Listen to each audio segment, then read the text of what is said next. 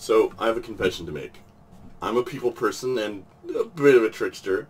I know, I know. Those who are close to me are probably like, what? But it's true. Um, and we're all working from home now. All of us. Forever. While conferencing with folks that I work with, I'll admit, my room is not in perfect shape. Uh, I'm not actually in an office. I'm in the middle of moving, and I have three kids, and it's a complete mess. So, I've been using the Teams backgrounds to, uh, to cover that up.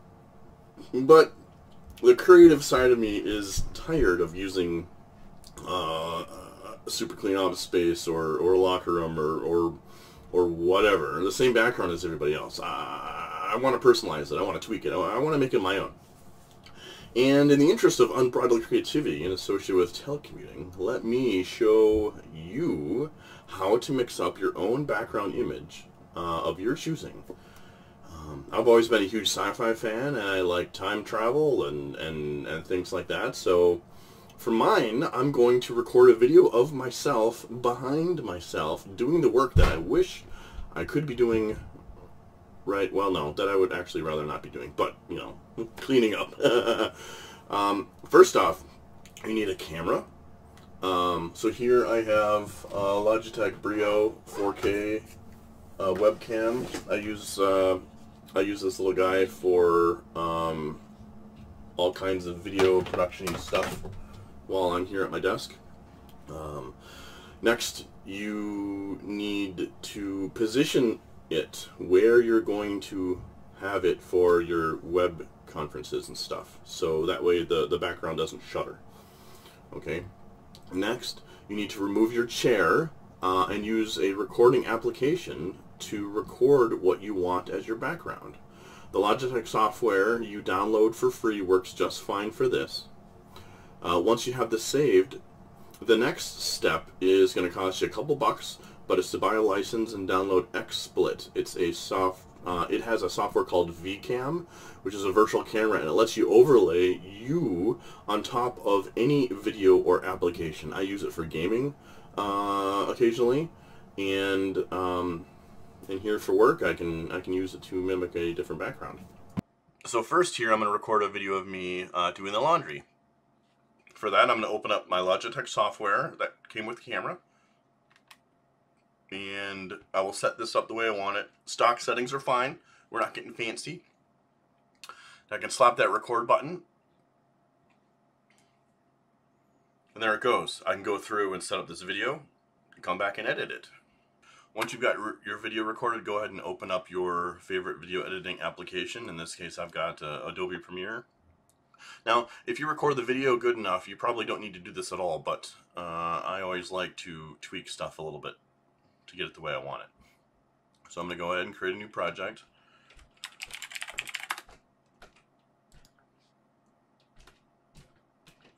Once that's created, I can navigate to where I have my video recorded, right here, and paste it in. Throwing it into the timeline. Now I don't want this part here to be a part of the video, so I'm go ahead and going to go ahead and cut that out. And get it right to where I want it to be. Okay, uh, so I'm going to give this a little trim, select, cut. So now you've got this nice video of me doing laundry, and that'll play in the background as I'm on conference calls. Okay, so I don't need this either.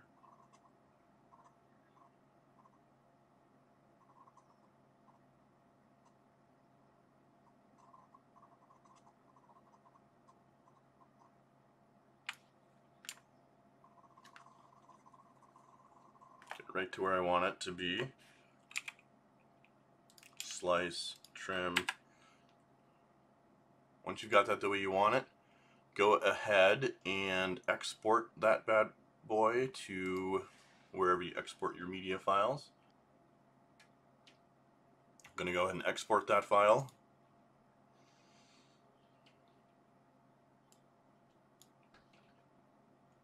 This is where I need a faster computer.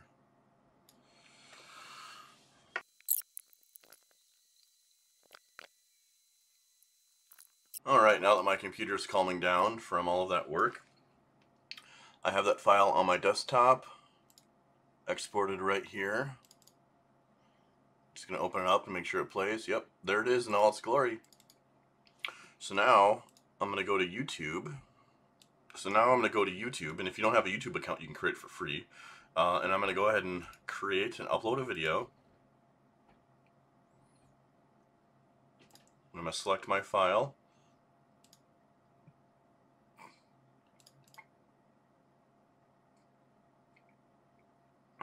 There it is.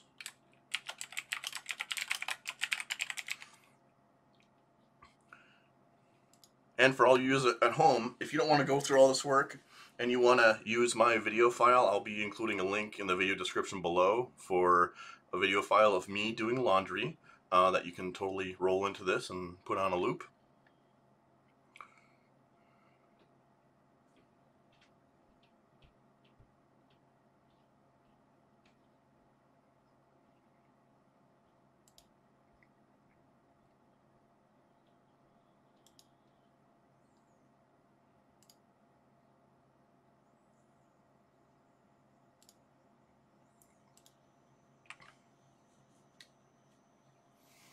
Now we just wait for this to finish too.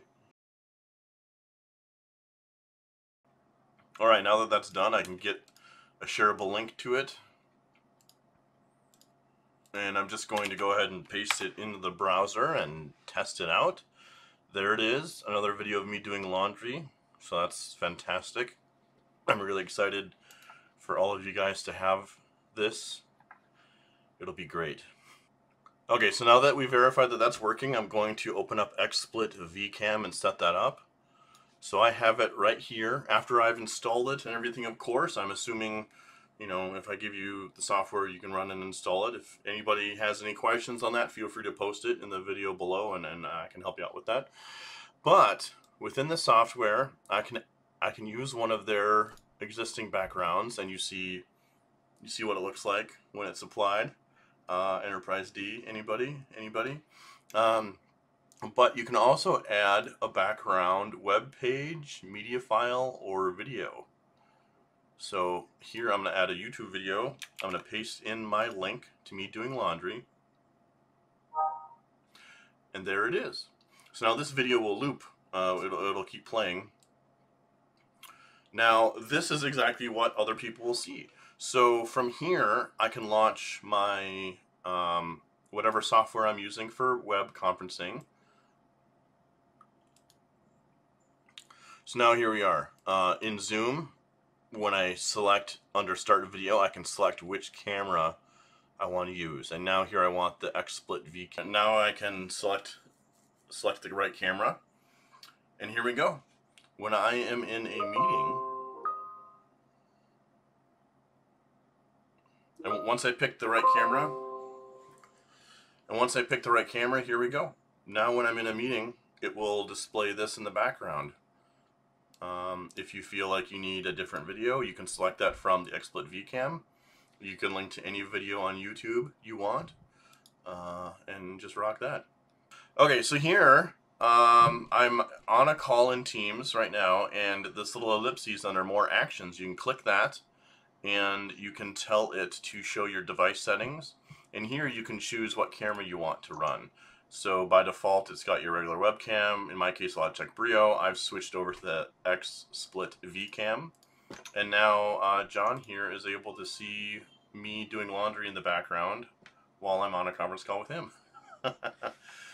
so anyway, that's it, everybody. It's it's it's that easy. Uh, there's one piece of software to purchase, but other than that, everything else uh, is ready to rock there. And um, for the sake of having a different background and being a little creative with it, it's a nice way to get some energy out. Thank you for watching. If you have any questions, feel free to post it in the comment below. Otherwise, have a productive day.